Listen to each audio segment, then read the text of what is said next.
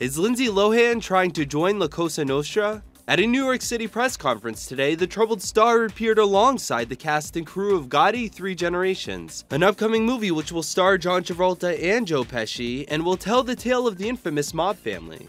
While her official casting in the project has yet to be confirmed, the actress did pose for pictures alongside Victoria Gotti, leading to speculation that Lohan will portray the daughter of the mafia patriarch.